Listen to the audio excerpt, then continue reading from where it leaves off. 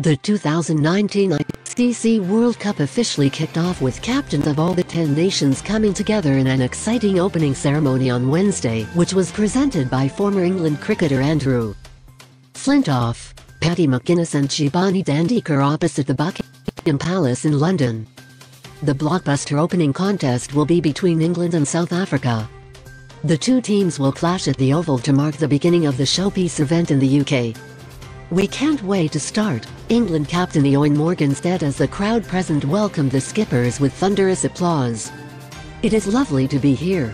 There's such a huge fan base here. That's a thing of pressure and a thing of pride as well.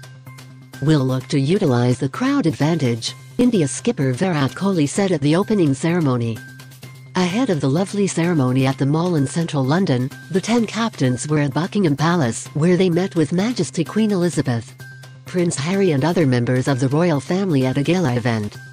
After meeting the royal family, the ten captains joined the special invitees at the garden party hosted by the Queen at the palace. Loryn and Rudimental performed the ICC World Cup 2019 song Stand By at the opening party. Fans dance along. And with that beautiful song, the glittering party comes to an end. England takes on South Africa in the first fixture on Thursday.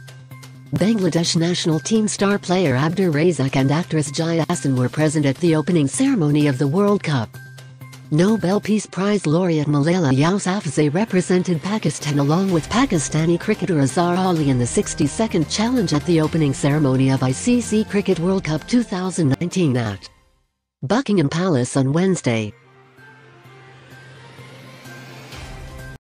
Please subscribe Nurjahan and press the bell icon to get updated with breaking news of the current world. Thank you.